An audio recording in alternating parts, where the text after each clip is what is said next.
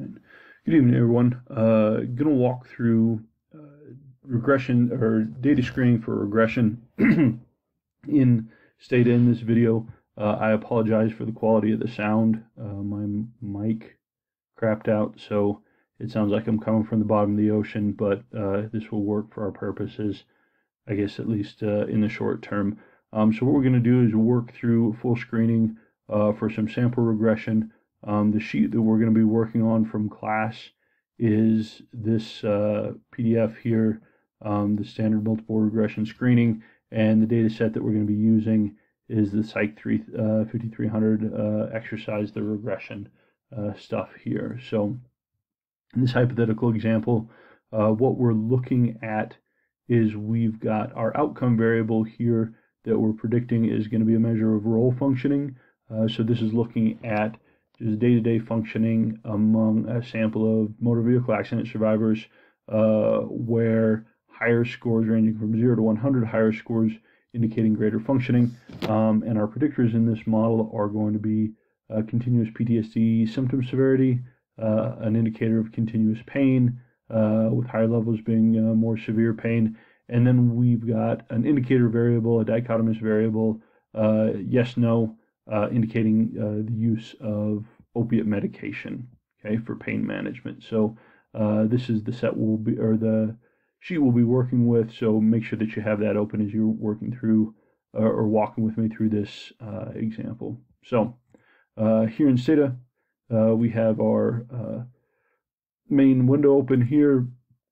These are our data, participant number, pain variable, opiate, PTSD, uh, and our outcome role functioning. Um, I'm going to be working mostly today uh, with through the do file. Uh, so all the commands will be listed here so that you can see. Um, we could type them into the command prompt, but this is just going to be faster and I have everything set up. So um, first thing that we're going to do uh, in terms of wanting to get a sense for what uh, cases have full data for my uh, analysis that I want to run. So here I'm going to use all of my variables in this analysis. I've got a uh, an outcome variable and three predictors. And so what I'm going to do in Stata, you can do this uh, pretty easily. What I'm going to do is I'm going to regression run a regression model. Uh, so I'm going to uh, uh, enter reg role functioning, which is my outcome, and then my three predictors here. Um, so I'm going to go through I'm going to run that. And this is going to give me a regression model, but I don't really care about that because what I'm going to do is I'm going to tell Stata to generate a variable called check, and I want the variable to equal 1 if the case in the data was used uh, in this sample. So this eSample uh, command, what this will do is it's going to create a new variable, and if the case was included in my regression analysis, it'll go through and uh, give that a marker there. So I'm going to go through and I'm going to hit that. And if I go to my uh, uh, data sheet here, I can say I've got a new variable named check with uh, a 1 if all my variables in my model are present. Okay. Um, and if I go through and I sort by check,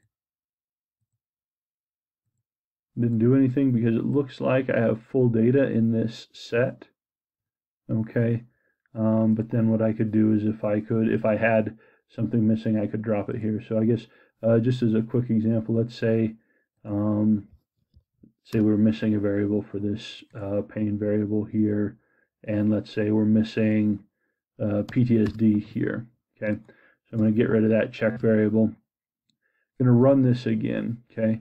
So I'm going to go through uh, that first analysis uh, that first regression model included all 201 variables in the set. But if I go through and I rerun that model, now we just have uh, 198 people in this set. Okay, and this time when I run the uh, create my variable, if it was in, if I go through and I run that, now I have a check variable, right? But it looks like this one has a missing value because case 105 wasn't included because it was missing pain uh, same thing, case 120 wasn't included in my model uh, because it was missing a variable for PT, a value for PTSD. So that way, if I then sort by my check variable, I go down to the bottom and I can say, oh, okay, these are two cases in this set that were missing data, okay? Um, and then if I go through and I just run drop, if check equals one, remember that Stata uh, treats missing values as infinitely large, so these missing values are going to be a billion billions, and so that's greater than one. And so if I just hit drop, it'll just get rid of those. So uh, when you're running uh, larger sets, uh, where you're going to have a variety of maybe a, a, number of predictors or variety of missing values, um, this is a nice way to just go through and identify cases with full data, and then you can go through and if you're miss have value, uh, cases with missing values, you can go through and just record uh, what they are. So, um, but we don't want to do that. Uh, have this set, so I'm just going to type in clear. It's going to get rid of all my data, not save anything, and then I'm just going to go back up to uh, my in my command prompt where I had originally called these data in, and now we're back to my original set with a full 201. Okay, so going to run through that. Uh, there we go. So we've got full data here, not missing any values. So we want to make note of that in my screen that we have full values here. Okay. Um, what I'm going to do now, uh, remember that my I've got three predictors in this uh, hypothetical model. I've got two continuous predictors, PTSD and pain, and then I've got a dichotomous predictor for uh, opiate use. So what I want to go through is I want to take a look at my uh, distributions for both my predictors and my outcome. Uh, what we're going to do is look at plausibility and then uh, univariate distribution, skew kurtosis stuff. So uh, what I'm going to do is first I'm just going to pick out my categorical variable. Remember this is opiate use, yes, no. And so just using the free command here, run that. I can see that I've got a pretty even split in these data. So about half of my uh, sample using uh, opiate pain medication, uh, about the other half not. So this is good. don't have any weird unbalanced splits. Um, so I'm excited about that. So opiate use looks pretty good. Again, zero, one, no out of bound values. so pretty happy with that. now what I'm going to do here is I'm going to take a look at my descriptive statistics for uh, my continuous variables. Here I've got role functioning, pain, and PTSD. Um, and what I'm going to do, just because I like the format a little bit better, I like the tab stat. Um, that's going to just order things up uh, nicely. And so I'm going to get statistics for role functioning, pain, PTSD.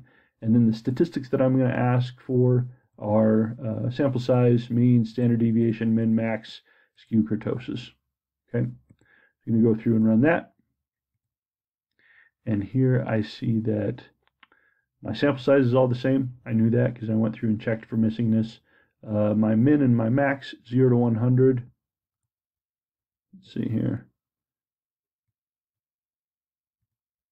Oh, well, squeeze it on that. Okay, so I've got uh, my role functioning 0 to 100. That's within bounds. Pain 0 to 6. That's within bounds. PTSD 0 to 111. That's within bounds. Uh, so my uh, continuous variables all plausible. And so uh, that's good. So I don't have any strange values that uh, are uh, don't don't make sense given the scale okay? Um, but now if I go down through and I take a look at skew which for pain and PTSD things are looking okay uh, but I do have some notable skew in my role functioning variable. And then again if I go down through and I take a look at my kurtosis value, remember that uh, neutral kurtosis in Stata has a value equal to 3. Uh, so if we were using like SPSS or something along those lines, uh, both of these are perfectly fine in terms of kurtosis.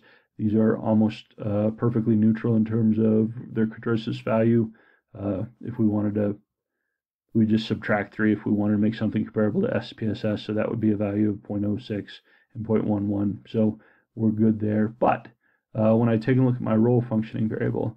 So I have some pretty pos uh, significant uh, positive skew.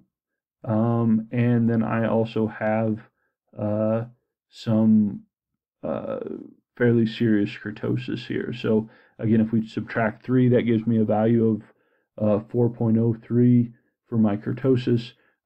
generally, what we're looking at is anything less than 2. So we have some concerns, and I want to make note of that as I'm keeping track of things that I looks like I do have some problems maybe in terms of the distribution micro, uh, of my role functioning variable, my outcome. Okay, so want to record skew and kurtosis values um, here, uh, but then what I'm going to do is I want to go through and I want to take a look at these graphically.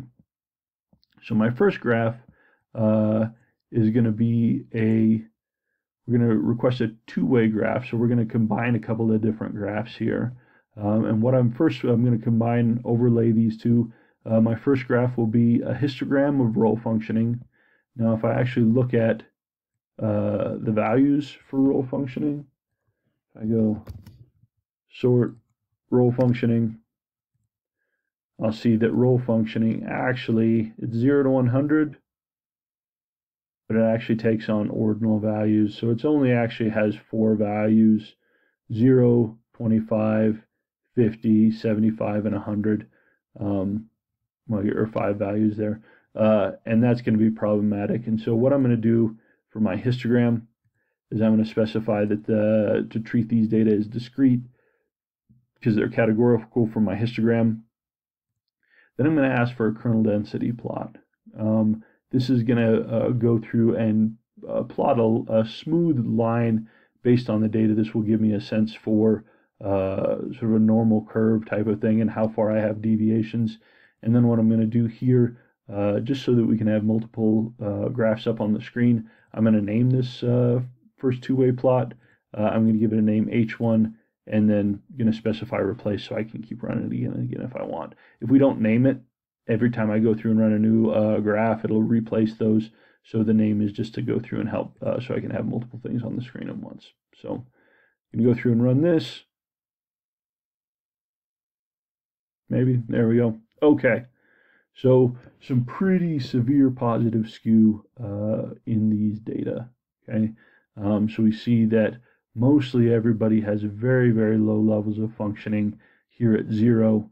Uh, and then we have people going through and reporting uh, some higher levels of functioning here. So clear problems in terms of the distribution of my outcome variable, which causes me some concern. Okay. Um, so what I'm going to do now, so I'm going to take note of that, uh, but then I'm going to do the same thing, request a histogram for uh, my pain variable. And what I'm going to do here uh, same type of thing. So I've got my two-way, so I'm going to overlap a couple of graphs. So I've got histogram for pain. Um, and then instead of just letting uh, Stata do whatever it wants to do, I'm going to tell it how many bins to use for this continuous variable. Um, and rule of thumb that I like to use is the square root of, uh, of the sample size plus 3. So if I go to and use uh, Excel as my calculator, if I hit display uh, square root of 201 plus 3. And so you can just use this as a calculator. Uh, so 201 square root of that plus 3 is going to be about 17. Uh, and so what I'm going to do is I'm going to tell Stata to uh, organize my histogram in 17 different bins. And this generally turns out uh, looking uh, reasonable in terms of graphs I'm going to uh, request kernel density uh, function uh, for pain, and then I'm just going to name this something else so I can have these two graphs up together. Okay, so here's my graph for pain. So again, here's role functioning uh, with a kernel density plot. Uh, here have some negative skew clearly with uh, my pain variable, um, but Again, if I go through and take a look at my distributions, I can see the negative skew there. Uh, kurtosis is about uh, neutral. So want to note that I do have some negative skew here, but maybe not something I'm going to be too concerned about uh, with a sample of this size. Okay. Um, finally, going to go through, do the same thing, request a, a plot histogram for PTSD. That looks beautiful. Really like that. Um, put that up side by side with my other plots. That's less beautiful, but still probably acceptable. Uh, this looks gorgeous. Um, so based on my uh, histograms, thinking that probably have a problem with uh, role functioning here. uh, but uh, pain and PTSD are looking okay. All right. Uh, also wanted to look at some box plots. Box plots are nice because box plots are going to be the same no matter what program you're using to estimate those. So here we're going to uh, request a box plot for role functioning. And here's just some uh, specifications to try and increase the interpretability of this. Uh, marker type 1, uh, marker size is going to be small, and then I'm just going to name this uh, so that I can have it up. Okay. Run my box plot. That's a pretty terrible looking box plot. Okay. Looks like my uh, my median, my first quarter, my first quartile, my third quartile are all zero, and then all of these variables coming up. Again, you can see 1, 2, 3, 4 this is going to be 0, 25, 50, 75, 100, again reflecting the ordinal nature of these data. Okay, so that doesn't look too great. Um, but if I go through and I look at box plot for pain severity, again, what we've done here uh, is again uh, looking at a box plot for pain. Um, again, marker variable, looking at very small marker sizes. Um, so we get small, very small, tiny, just playing around with this so that you can see. Um, here, I've also uh, given a marker label as my participant variable, which is subject. Remember that Stata is case sensitive, subject is uh, lowercase, uh, and so telling it to label uh, markers by subject and then have a uh, label this B2. So if I go through and take a look here, I see I have a median value of a little over four, um, uh, max value, minimum value still within one and a half times the interquartile range, and then I've got a value of 202 that looks like to be the most extreme, but then uh, some values here um, that are extending beyond one and a half times the interquartile range. Uh, and if I want to make sure that I know what those are, I can just go sort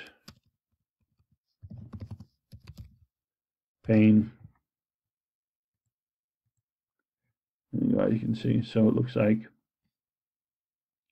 uh,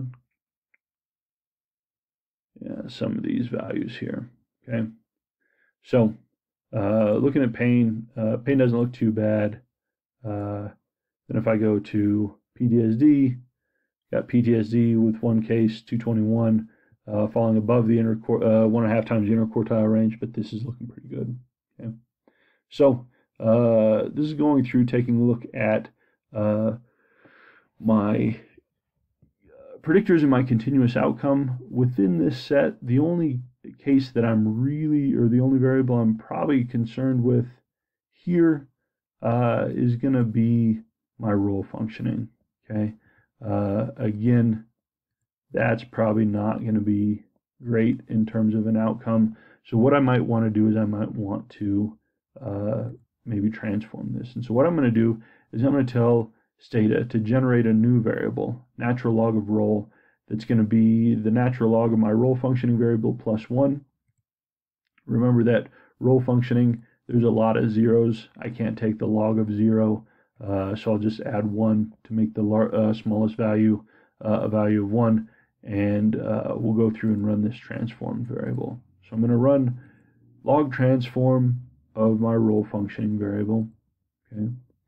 If I look so now I've got natural log of uh, role functioning here. Um, and then if I go through and here I'm just going to request uh, summarize the, my newly transformed natural log of role. And here I'm just going to use the sum, the, the sum command, the summary command, and I'm going to specify detail. A little bit different than the tab stat we did, but just it's easy and convenient just because I have one variable here. So if I go through and I take a look, uh, this is summary statistics for role functioning. Uh, here, I see that now that my skew is gone from, let's skew up here. Oops. My skew was 2.25. Skew my uh, uh, transform variable is now 1.4. So we've gotten that down into something that's a little more reasonable. My kurtosis here was a value of 4.03. Again, remember that we subtract 3 from the kurtosis values, uh, which is too much here. Uh, my kurtosis is now 0.20. So kurtosis is much better. So this transform variable is looking a lot better than what we had had up here for our outcome. Okay, But if we go down through, and so that's looking better in terms of the descriptive statistics, but I'm going to go through and take another look. And so I'm going to request a histogram of role functioning, kernel density. Okay. So it still looks pretty bad, right? Um, if I go through, oops, take a look. So this is the untransformed variable. This is the transform variable. My statistics on this relative to this are better. Uh, the natural log transform kind of pulls things in, but again, it's not going to make this not a discrete variable, right? I have five values. Uh, one, two, three, four. Yeah, I have five values here. It's the same thing here. It hasn't changed that at all. Um, well, I've got four values, but that's just SPSS's binning. I can go through and uh, just specify that I want uh, this to be discrete and then rerun that. There we go. Okay, so it brought things in, but it's still not great.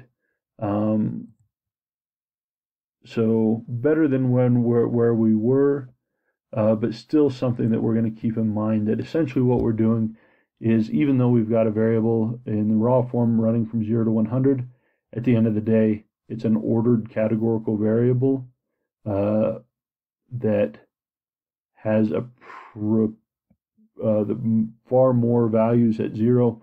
Um, we're going to ignore this for right now, but we'll see some weird stuff coming up uh, at the end of the day as a preview for these type of data with this type of outcome you'd actually probably want to use a different model, not a standard regression. But we'll ignore that for right now uh, and move on through. Uh, so we've got, oh, then if we go through and we take a look at a box plot or here, box plot still looks about the same. It pulls everything in a little bit, but so we've got some problems with our with our outcome variable here. Okay, uh, so that's going to be a limitation of this model if this were something we're actually going to run. Okay. So we've got uh, this takes care of our univariate dis uh, distributions, and this is stuff that you've done before. Uh, nothing hugely new here. But after we've gone through and taken a look at uh, things we have issues with, I want to look at univariate outliers. So remember, univariate outliers are extreme values. Uh, in univariate distributions, we're just going to request z-scores. So I'm just going to say tell Stata z-score for role functioning pain and PTSD. We don't have to create a z-score for our dichotomous variable because that doesn't make any sense. Um, so I'm going to go z-score for my three variables here. Tell me that it's gone through and created that. And then if I look at my uh, data set, I can see that I now have z-scores for role functioning, pain, and PTSD. And now what I'm going to do is I'm just going to summarize uh, the z-score for the natural log of role functioning through uh, z-score for PTSD. That's just catching all three of these. I run that. And here uh, I'm going to be interested in the min and the max value. Okay. Remember, uh, this is Stata is a little bit different. It's far more precise than SPSS. SPSS would just put zeros here.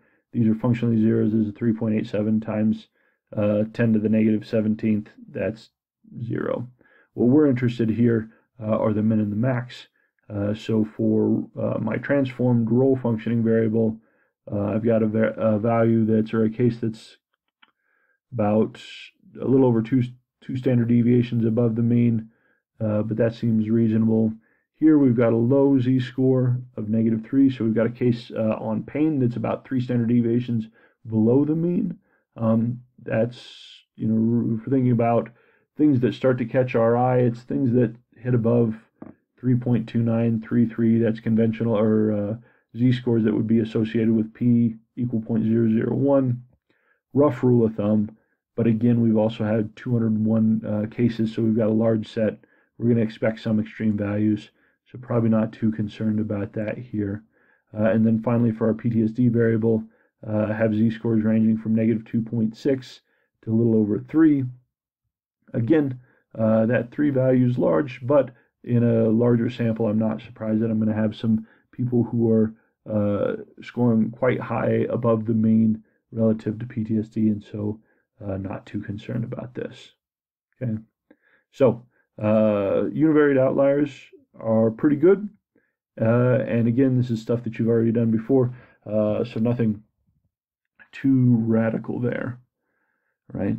But now, what we want to do, you want to take a look at our uh, linearity and homoscedasticity uh, in our bivariate uh, plots. So what we're going to do, uh, and again, what we want to see is in bivariate scatter plot, we want to see that our variables are uh, linearly related. Uh, so we don't have nonlinearity in our in our bivariate relationships, and we also want to see that the spread of our scores across the uh, uh, range of the x-axis with y's, that everything, we won't have any fan shapes or anything like that that would indicate heteroscedasticity. Okay. So what I'm going to do is I'm going to tell uh, Stata to generate uh, a scatter plot matrix, so graph matrix, uh, and include natural log of role functioning, opiate, PTSD, or opiate use, pain, and PTSD. Okay. Now, with uh, opiate use, this is a dichotomous variable, um, and so uh, relations between continuous dichotomous variables can't be uh, can't be um, nonlinear. But what we can do is we can look at uh, homoscedasticity in that. Okay, so again, uh, a scatter plot matrix with natural log of role functioning, opiate use, pain, PTSD, marker size. We're going to say tiny, and then uh, giving this a name here. So we're going to run through, take a look at that. Okay, so what we've got is a nice matrix uh, that gives us all of our uh, variables here. Um, the way this is set up, if we look in this upper quadrant, we have uh, role functioning here in the uh, y-axis, uh, and then opiate use, uh, pain severity, PTSD in the in the x, right? And so here, if we're looking at this, not seeing anything that looks too much that would indicate not any nonlinearity or uh, anything that would look like um, too bad in terms of heteroscedasticity. Uh, now, again, for anything with opiate use, right, is going to be these variables here, these variables here, these are zero ones. What you can do is start to see spread to see if you've had very like a uh, very uh, let's say for no opiate use very uh, little variability here and a lot of variability here but doesn't look like we're seeing that the one thing that i don't like about this graph uh, is again because with role functioning we only have five values here and so everything kind of lines up in straight lines one of the things we can do in stata is we can add an option. Uh, see, I got this jitter. What this is going to do is it's going to add just a little bit of tweaking when it's plotting this out uh, so that here, this is 150 cases are all identified by this one dot because they're all stacked up on top of one another because it's all the same value. Um, what we can do is we can rest, request uh, that SB or that Stata add some jitter, and it's just going to give us a better sense for uh, it's going to move those around so that they're just not all stacked up on top of one another. Um, so if I go through and I run that, and if we look at these two graphs, we can see, so what it's done is it's gone through and add some, a little bit of variability around those dots so that they're just not all one on top of one another. So I can see a little bit there. Um, we could go through, let's say I want to increase that jitter by two. I reran that. Now it's sort of moved around a lot, right? Um, here it doesn't make too much of a difference. Um, I'll go through back and change it back to one. This is just a preference in terms of uh, what you want your graphs to look like, but this just makes everything so it's not stacked up on top of each other. It's a more effective graph than this. So uh, as I'm looking here, not seeing anything uh, that looks too terribly uh, problematic in terms of linearity or violations of homogeneity or uh, excuse me linearity or heteroscedasticity. Uh, but let's say that mm, if we were concerned maybe with, let's say, this uh, quadrant down here, we'd see at high levels, again, here, whoops, here we're going to have role functioning, the natural log of role functioning on the uh, x-axis. PTSD total score is the y. And so maybe we say, boy, it looks like there's a lot less variability in PTSD total score uh, at high levels of role functioning versus lots of variability at low levels of role functioning. What I want to do is I want to look more closely at that uh, graph there to see what's going on. So if I want to do that, I can just uh, request a scatter plot. And again, this is just a two-way graph. So we're going to superimpose a couple of different uh, uh, graphs here. So I'm going to request a scatter plot of PTSD, and I want it to make it look like this. So PTSD on the y-axis, natural log of role functioning on the x-axis. So I wanted to just replicate that. Um, I'm going to tell it to give me a little bit of a jitter, uh, small, very small sample or a very small marker size, and then I'm going to request a Loess line. Okay, a Loess is a smooth fit uh, that will go through and take a look at the data. We'll use this to see if we have any nonlinearities. If we have weird, kind of funky nonlinearity stuff, that Loess uh, line will maybe pick that up. And then I want a linear fit of PTSD and role functioning. So again, these are pretty easy once you got this uh, command down. You just take PTSD role functioning and you're just running the same graph for the Loess and uh, linear fit here. So if we go through and we run that, we'll see what we get is a close-up uh, of this specific scatter plot here. So again, lots of variability in uh, PTSD symptom severity at uh, low levels of role functioning, less variability at high. But remember that what we're looking for in terms of problems with heteroskedasticity is going to be a spread that's three times the largest versus the smallest spread. So at the highest end, we've got about a sort of range of 50. At the or at the high end of uh, role function, we've got a spread of 50. At the low end, we've got a spread of a little over 100. It's kind of two to one, so we're not too concerned here. We'll see this green line. This is my linear, uh, my fit line, my linear fit line here, um, and then this red line is my Loess, and it's tracking pretty close to that uh, linear fit line. Uh, so everything's looking pretty good there. Okay, so uh, as I'm going through in terms of looking at linearity, homoskedasticity uh, in my bivariate plots, remember that uh, we have a violation of the fixed effects assumption of regression, uh, which is problem uh, not a problem, doesn't bias our estimates so long as our vari variables are normal and linearly related and homoskedastic. Um, role functioning isn't normal. It's, uh, but at least we don't have any problems. It looks like based on our bivariate plots with uh, heteroskedasticity or nonlinearity. Okay. Okay. So to this point,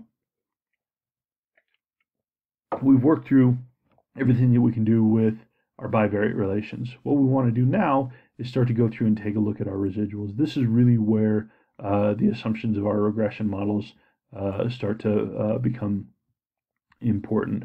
All the stuff we went through in class uh, in terms of multivariate outliers, residual plots, and things like that, this is where we're going to take a look at this.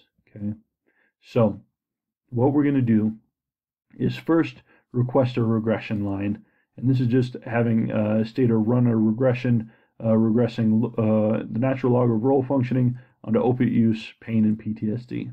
Okay, this is our model that we want to run. Again, we're not worried too much about uh, the actual coefficients at this point. What I'm going to do is I'm going to have uh, Stata run this, and then what I'm going to do is I'm going to have it uh, save a number of different uh, statistics based on this model. Okay, um, so if we go through and pop up your handout, we'll see that uh, things I'm uh, going to be requesting here. So I'm going to have it run the model, but then I want it to predict and save as the variable name y hat uh, xb. xb is going to be our predicted or expected values of y. So I'm going to tell Stata to save, give me a new variable called y hat that saves my predicted values. So based on this model, what are the predicted values for role functioning? Uh, that's what I'm going to get there. Uh, then I'm going to also tell it to save a variable called resid. This is R. R is just your raw residual. This is your observed score minus your expected score. Okay. I'm also going to have it uh, save a variable called tres. This is my R student.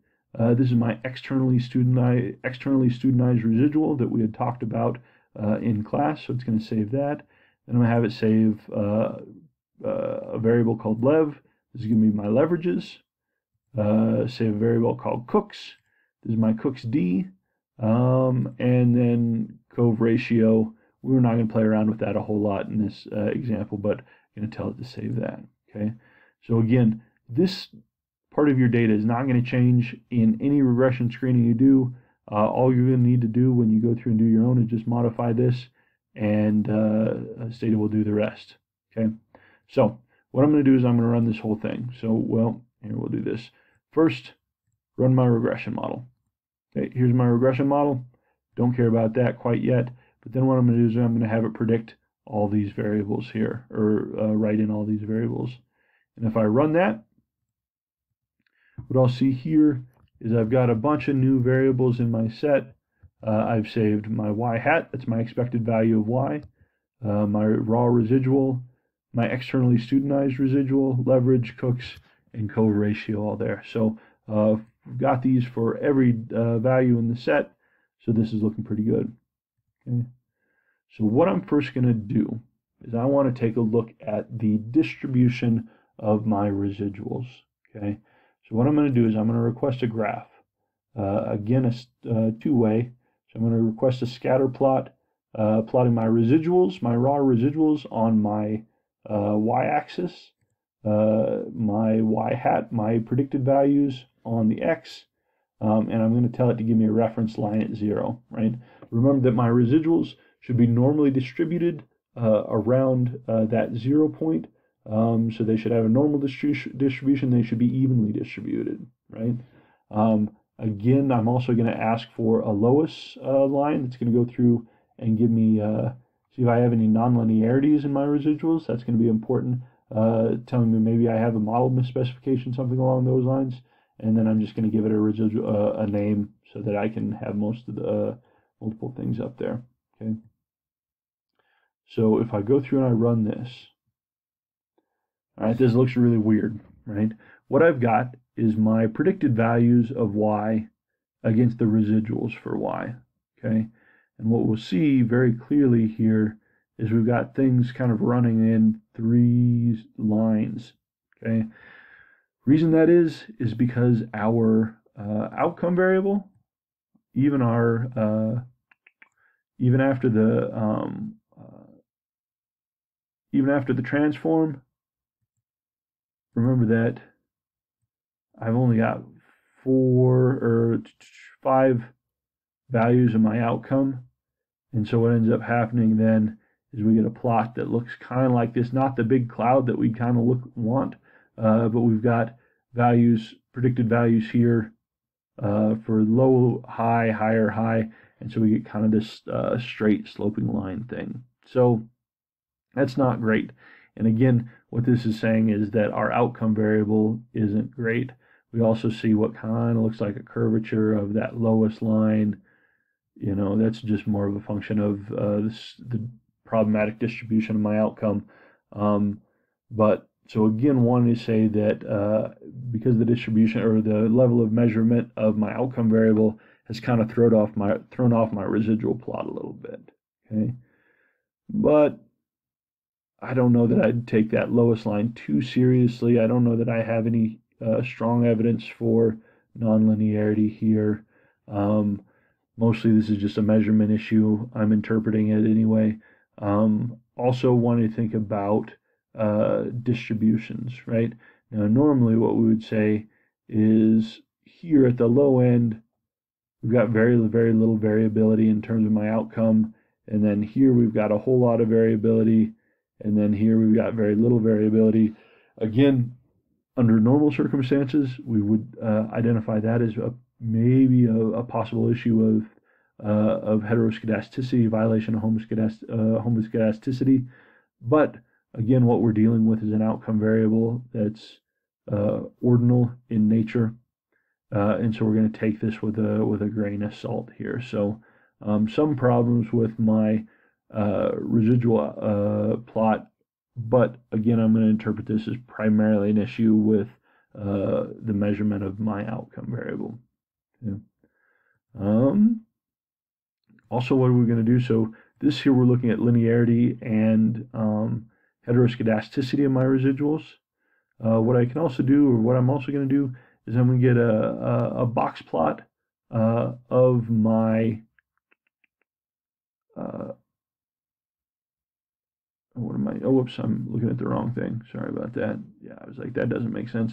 Okay, so this is going to give me my graph here. It's going to give me my residuals. Uh, and then what I'm going to do is I'm going to request, as we talked about, uh, a normative. This is going to be uh, requesting a PP plot. Okay, and what I'm interested in here is whether or not uh, the distribution of my residuals are relatively normal. Remember that with our norm, uh, uh, normal probability plots, Uh, if we were plotting a variable that has a normal uh, uh, that meets a normal distribution, it should um, fall right along this diagonal axis uh, the PP plot here has some deviations, right? Um, but they're not too terribly bad. I don't know if I'm too worried about normality with this. What I can also do is I can also go through and uh, request just a histogram of my residuals. Um, and if I go through and I do that, so I've got a two-way histogram for residuals, uh, kernel density uh, plot here, I go through and I do that, this is what it gives me in terms of my uh, distribution, my residuals. Again, uh, in a perfect world, this would be a wonderful normal curve. It looks like I've got kind of a normal curve here, but then kind of a positive skew on here, okay, uh, with a little bit of bump. again, this is going to be a function of problems with the distribution of my outcome variable. Um, so in general, we're saying uh, distribution is wonky, but probably not anything I want to necessarily interpret as clear evidence of nonlinearity or heteroscedasticity based on this. Uh, my PP plot is some, showing some deviations from normality. I can see that in the histogram of my residuals uh, with the kernel density plot here, um, but it's just kind of this last tail, some positive skew uh, that I might want to take a look at. Okay, so this is a distribution of our residuals. Want to make note of uh, things there. Okay, so noted that. What we want to do now is take a look at our discrepancy values. Remember that the discrepancy uh, is going to be measured by our uh, the magnitude of our residuals. Uh, discrepancies are going to be large discrepancies are going to be indicated by uh, large deviation between our predicted value and our actual observed value. So where discrepancies are dealing with things in y space. Okay, so remember that I had uh, told Stata to save my external externally studentized residuals. Um, is my R student here. Okay, what I'm going to do is I'm just going to request a summary, a summary of my uh, externally studentized residuals. Remember that uh, these externally studentized residuals these are going to follow a, generally follow a t distribution uh, where uh, we're going to have n minus p, the number of predictors, minus 2 degrees of freedom. So if I go display 201 minus 3 predictors minus 2. So what these are is they give me 196 degrees of freedom. So what I could do if I wanted to is I could attach for each one of these studentized residuals a p-value telling me deviation from zero, right? So what we can do is we can basically treat these, particularly in a sample of this size, uh, with 196 degrees of freedom and a t-distribution, you functionally got a z uh, distribution anyway. Basically, we can treat this outcome as functionally z-scores. So um, we've got a low residual on the low end, um, it's going to be sort of these negative values. These are going to be uh, cases where my observed uh, value is lower than what's expected or what's predicted by the model. My high values are going to be my observed uh, natural log of role functioning is going to be higher uh, than what was predicted by the model. Um, but everything in here is under three. And again, if we're interpreting with a, this in a large sample is kind of similar around standardized scores, it looks like we're not too concerned here probably with uh, uh, large discrepancies in this set. But what I could do is I could go through and I could sort T-res. Okay, that's right. Uh, and I could go through and I could look at sort of what values were high and what values are low and what values are high. Um, Stata also has this cool little uh, extremes command. If I go through extremes and I look, uh, tell it to give me the extreme value for my T-res variable, and then also list uh, subject, my subject number.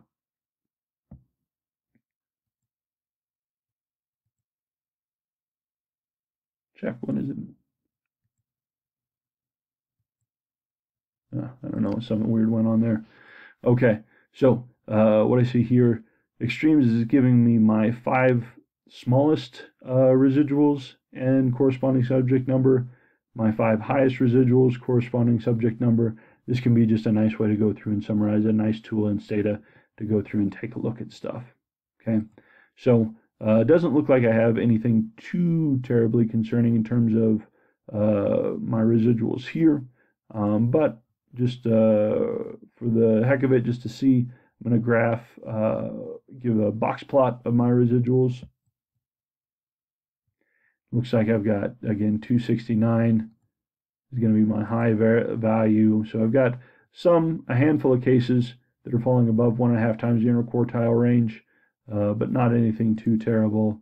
Again, also I can ask for a histogram. Uh, those look pretty good.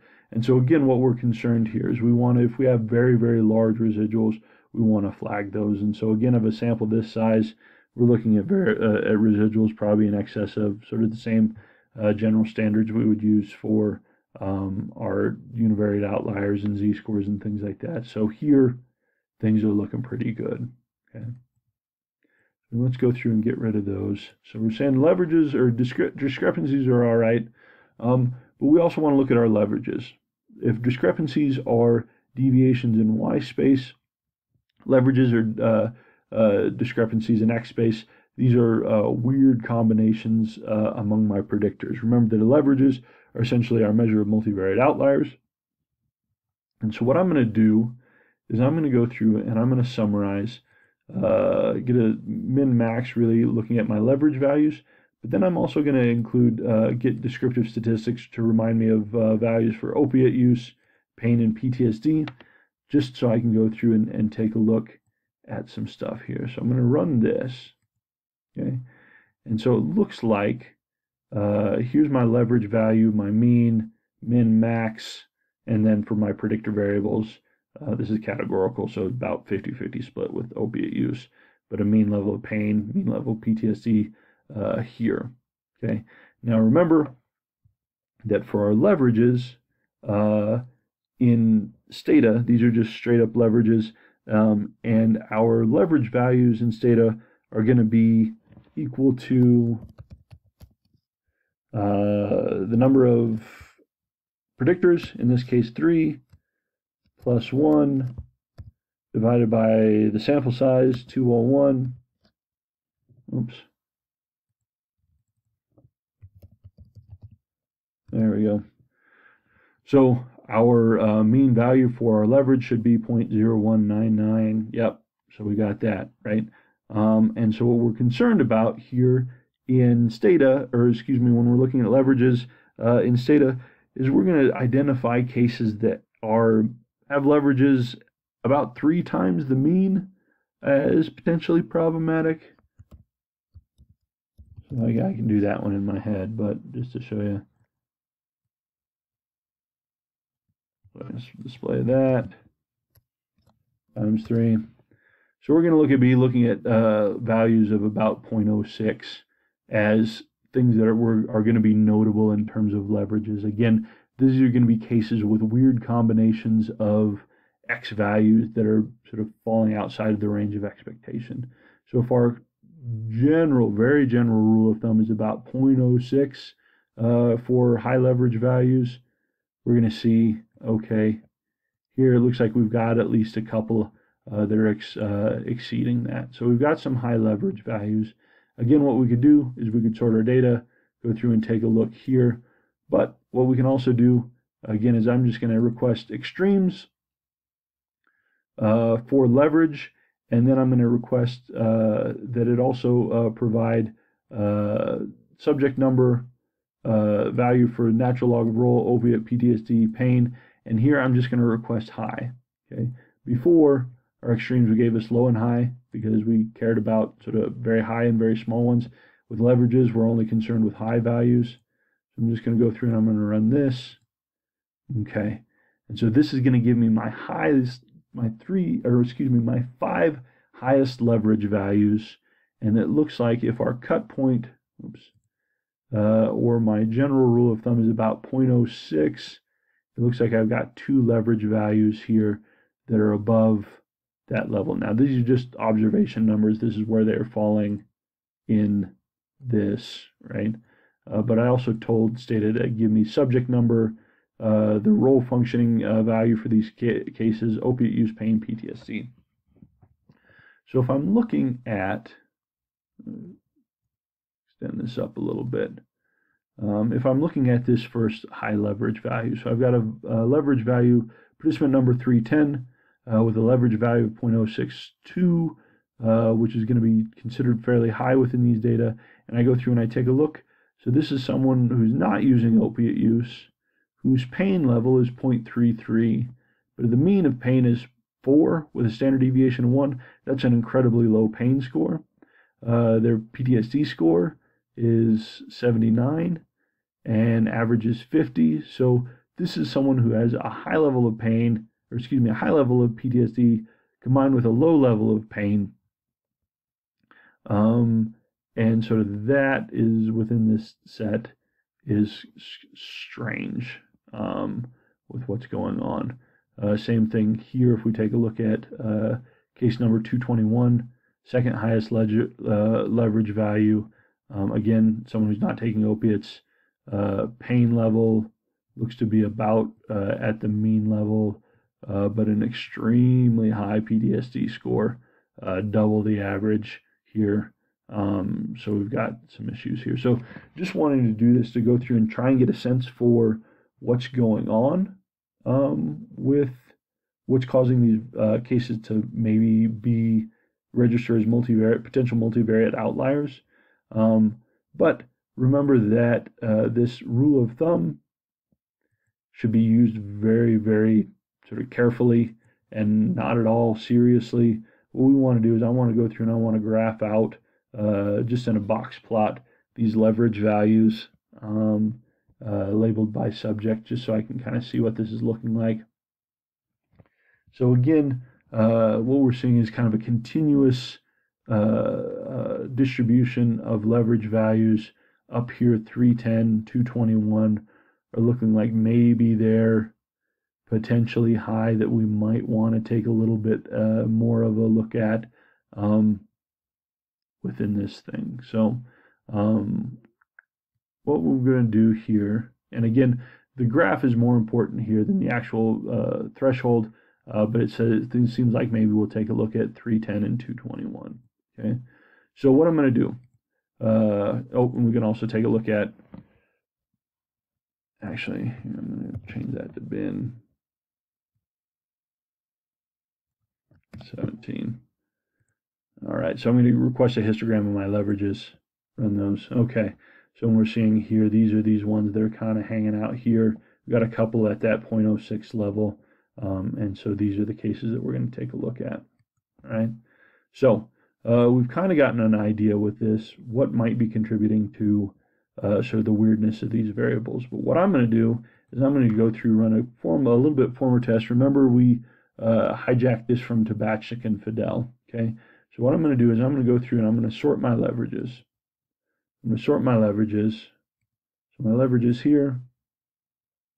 All right. So these are the two cases that I wanted to take a look at. Uh, and again, this is case 221 and 310. Okay. And so what I'm going to do is I'm going to create two variables.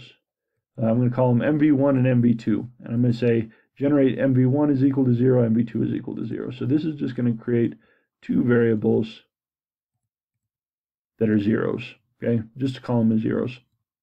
What I'm going to do is I'm going to add for my first high leverage point, I'm going to say this is 1, okay? My second high leverage point, this is 1. So essentially what we've done is we've created two variables that have nothing but zeros except for just a 1 value to mark the two cases that we've identified as uh, potential uh, multivariate outliers, okay? And then, remember, what we're going to do is I'm going to regress uh, MV1. So this is an outcome onto my three predictors. Okay.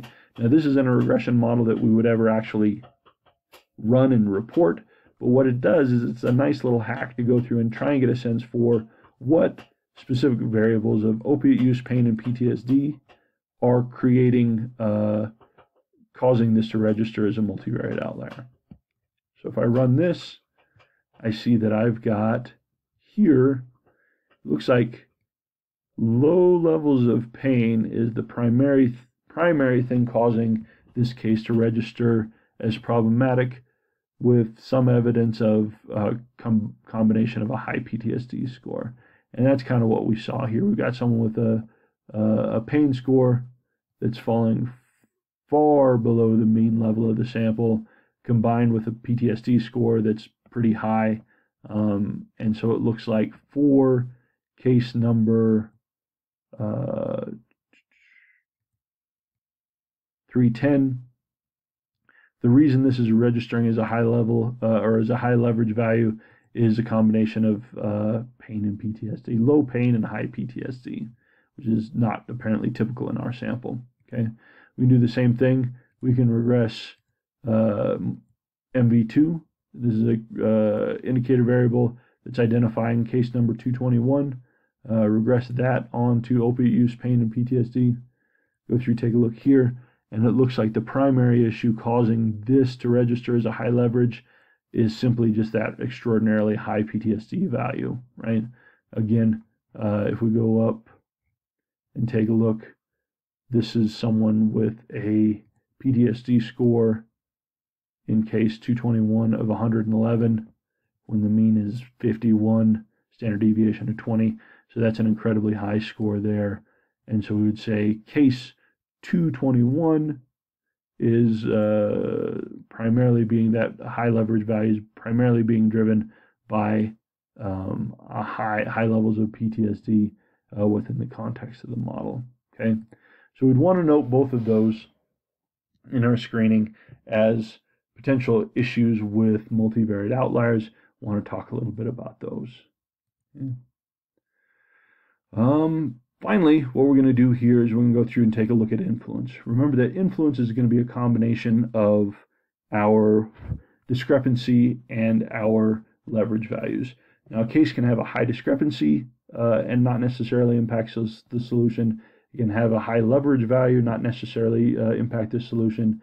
Uh, but if we start mixing those two things together, high leverages, high uh, discrepancies, we can start to have a bigger impact on our model. Okay. And remember that Cook's D is uh, our uh, main measure of influence that we're going to take a look at. Again, we uh, asked to save that as Cook's. And so what I'm going to do is I am going to summarize my Cook's value. Okay. This is just going to take a look at my min and my max on my cooks.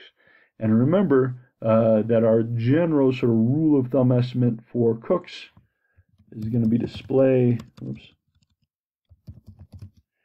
it's going to be 4 divided by my sample, which is 201, minus my number of predictors, minus 1. Okay. So what I'm going to look at is maybe something to potentially continue to look into is going to be a Cook's value that's above 0.20. Okay. Now, if I look at my Cook's value, or at my max, I got a value of 0.05. That's a lot. If I go through and I go through and I sort cooks and look at my data, I'm going to see that I have a whole lot of cases. Or here, let me gsort. I'm going to do the gsort root can reverse. So gsort negative cooks is just going to uh, uh, sort this in descending order. So everything's up near the top. Okay. Um, and so, boy, if 0.20, is my cut point, boy, I've got 14 cases that are all registering as something that we might uh, consider high levels of, of influence, right? Now, we're obviously not going to throw out 14 cases indiscriminately. Uh, and this is where your plots start to become start to become important. So more so than just looking at what exceeds a cut point, what are the graphically what do these look at or look like? So what I'm going to do, I'm going to request extremes to give me cooks, subject, and just the high values.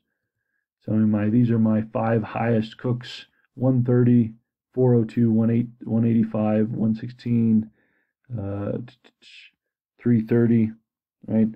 Um, so again, these are all values that are going to be high, but so we've got a lot of them there.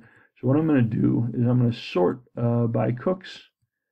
We have to go through and we need to uh, resort this. And then what I'm going to ask say to give me is a drop line plot. Okay. Uh, what this is going to do is I'm going to uh, drop line cooks uh, by uh, subject, um, label this Okay, and what I'm looking for is really high values. All right. Um, I could also request a, a, block box plot of this. I just kind of like this drop line plot uh, for these. It's kind of cool. And so we can see that 130 is really high, but 116, 185, 330, 402 are all big, right? But if we shave those off, then these ones are going to be large. So we've got some leverage values that are all kind of up here. It makes it hard to know which one of these might be the ones that we should be concerned about, right? So we would maybe note uh, in our screening that we've got a total of 14 cases that are very, very high in terms of, in, or that are would be considered high in terms of uh, normal benchmarks for influence. Uh, 130, 116. These ones, maybe we skim these off and identify these as particularly problematic. But the other thing that we can do uh, is we can start running combination plots. Now this is where Stata is really nice. We can run some pretty cool plots pretty easily uh, that can give us quite a bit of information.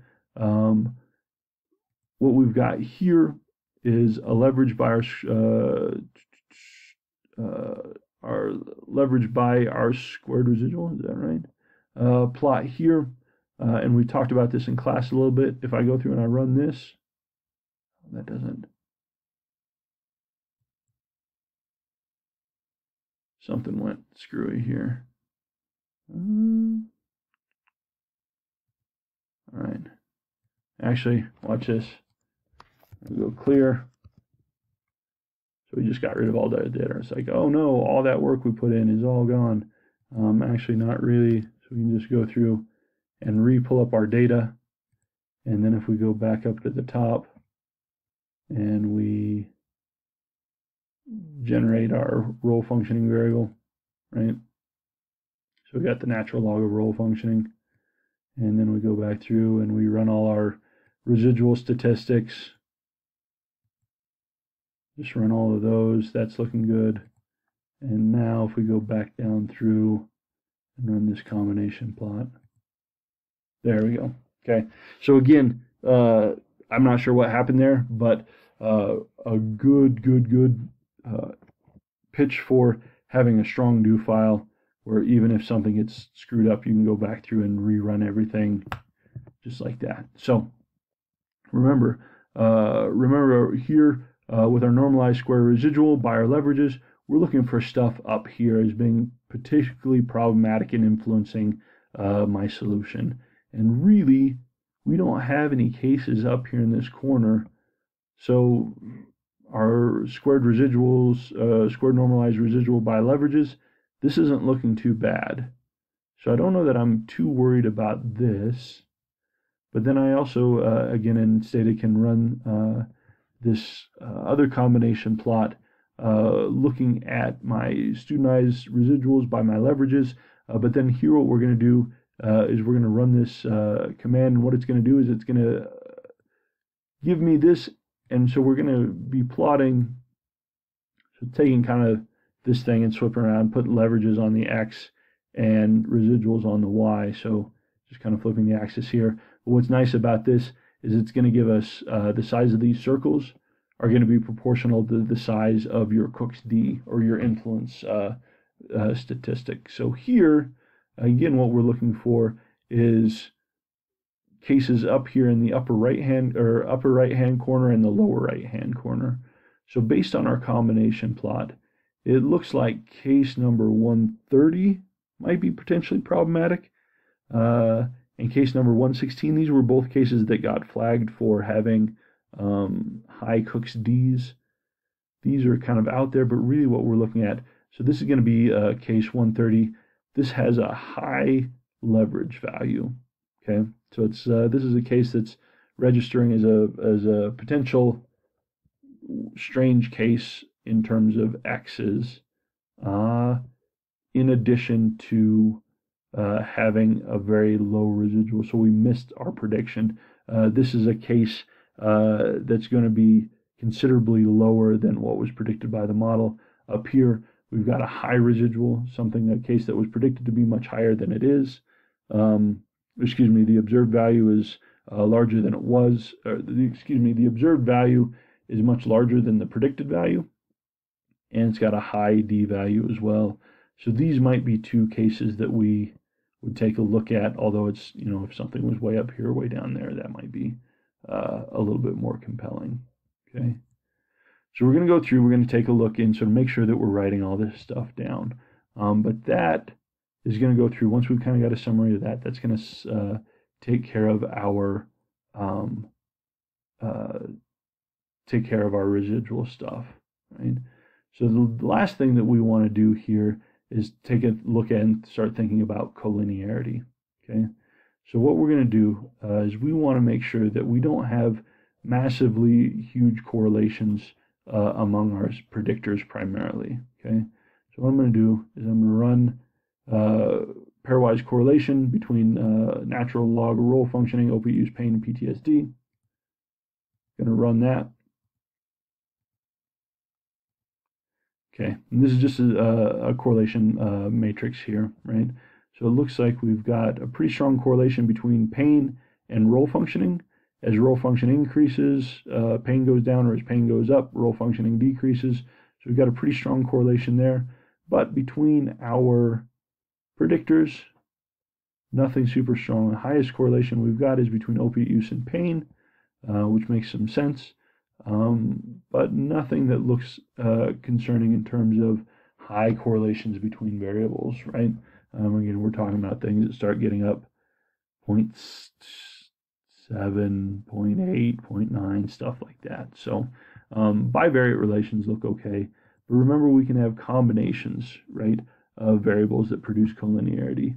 So what I'm going to do is what we need to have is we need to run now Stata still has this regression run as its last sort of uh, main estimation command. Uh, but if we run that, we didn't need to, it was already in there. But then if we hit just run VIF, this is going to give me variance inflation factor and my tolerance. 1 divided by VIF is my tolerance. Remember that uh, VIFs that we're going to be concerned about is anything that starts to increase 10, if anything gets even in the uh, sort of the galaxy range of 10, you should be concerned. But these are all right around 1, so no concerns there. Remember that uh, tolerance, or 1 divided by your variance inflation factor, uh, looking at uh, things that are about 0.1. Again, if it's anywhere even in the vicinity, or you have even talked about getting down that low, you should be concerned. But these are all reasonable, so that looks good.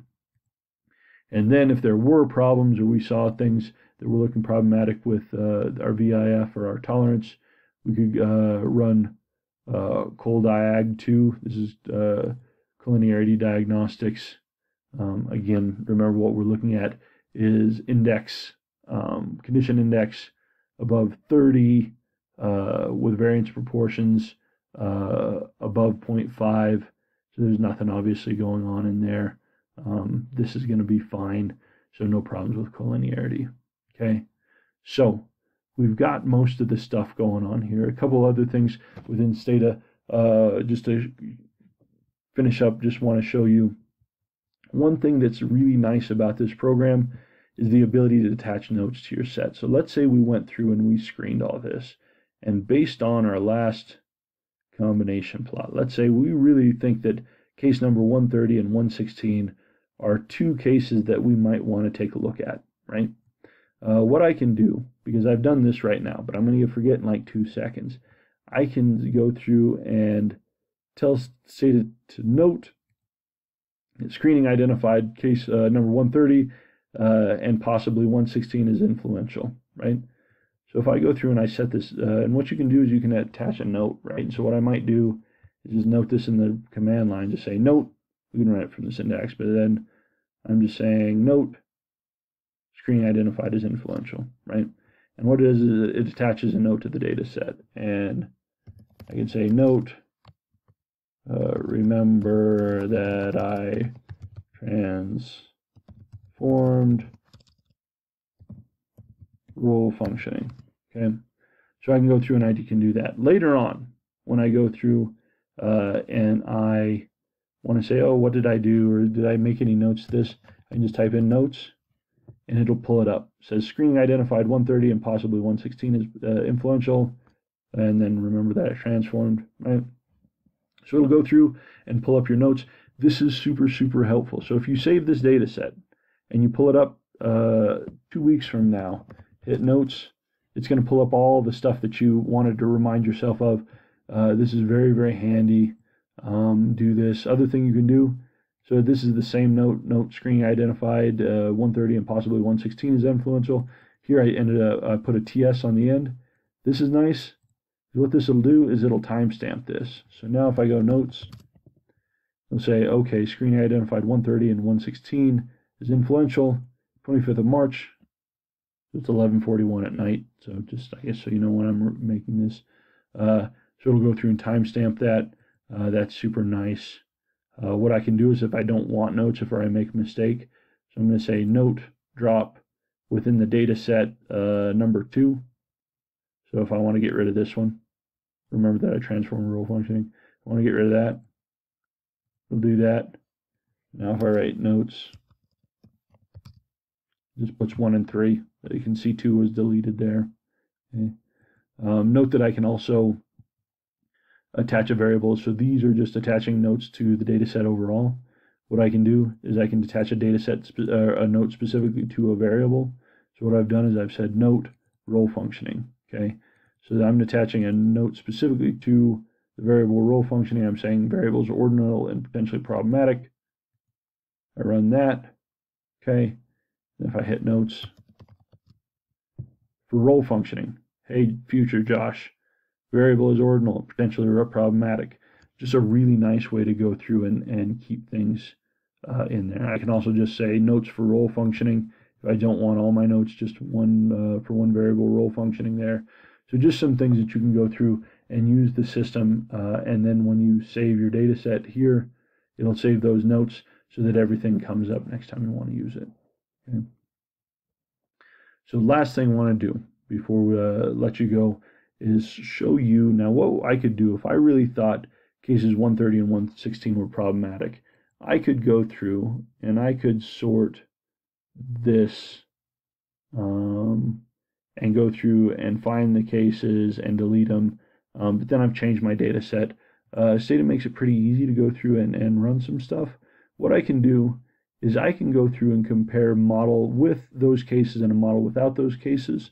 What I'm going to do here is what I'm going to do is I'm going to tell Stata to quietly regress uh, the natural log of role functioning on opiate, pain, and PTSD. This is the model just with the full set that we've used. But when I say quietly, it just Stata does this in the background, doesn't give me any output. But it just did that and it saved uh, that uh, in the in the memory. So that uh, model is what it's currently got in the memory.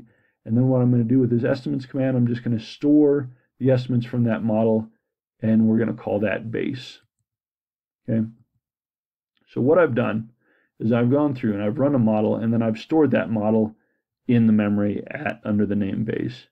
And then what I'm going to do is I'm going to run another one. And this I'm going to say quietly regress natural role functioning of opiate use, pain, and PTSD. So the same model I did here, but if not inlist, that exclamation point means not in stata, not inlist if the subject is 116 and 130. So essentially what I'm saying is run my model, run regress role functioning on opiate pain and PTSD unless uh, the participant numbers 116 uh, and 130, then kick those people out. So I can go through and I can do that. And what I'm going to do is I'm going to estimate, uh, store these estimates as deleted 2. Okay.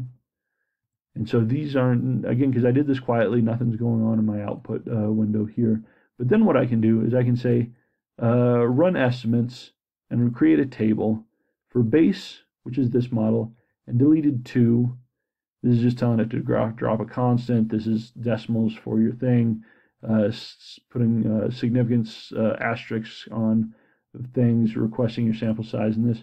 But essentially what we can do is have uh, Stata create a table for me and so what I can do is I can say, boy, I think case 113, or excuse me, 116 and 130 are problematic.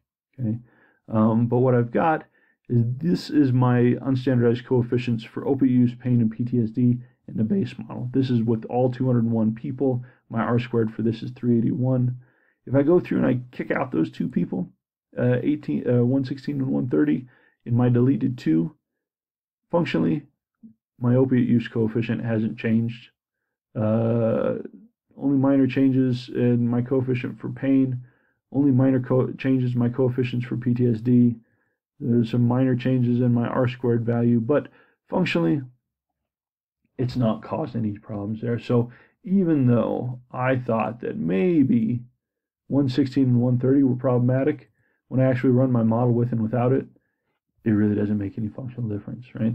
So this is just a nice way we can go through in Stata and put together a quick little table. And again, uh, this might seem like a lot of stuff, but once you've gone through and you've created this do file, then doing it for other files, you just is basically changing around variable names and stuff like that. It makes it pretty easy and straightforward. Okay, so that takes us through the screening. Um, if we go through and thinking about how do we write all this up because we just went through a lot of stuff. Okay. At the end of your file, um, again, uh, basically running through our standard protocol here in terms of screening, um, accuracy and plausibility, no problematic values, missing values, no missing values for our target variables. We've got a full sample of 201. Here, we're looking at uh, univariate distributions, skew, kurtosis for pain and PTSD are looking fine. Talk about histograms and box plots, histograms and box plots. Those are all pretty much okay, right? Um, but then we're indicated saying role functioning indicates clear violations of normality, skew and kurtosis values. We say histogram reveals role functioning as an ordinal variable, taking on values of 0, 25, 50, 75, 100. Talking about sort of uh, what's going on in our plots saying we uh, applied natural log, uh, brought the skew and kurtosis within reasonable values. Um, histogram still is non-normal, but it's sort of better than it was. Uh, and then our uh, dichotomous variable there, uh, balanced opiate use. Okay, so this is just getting our univariate distributions in.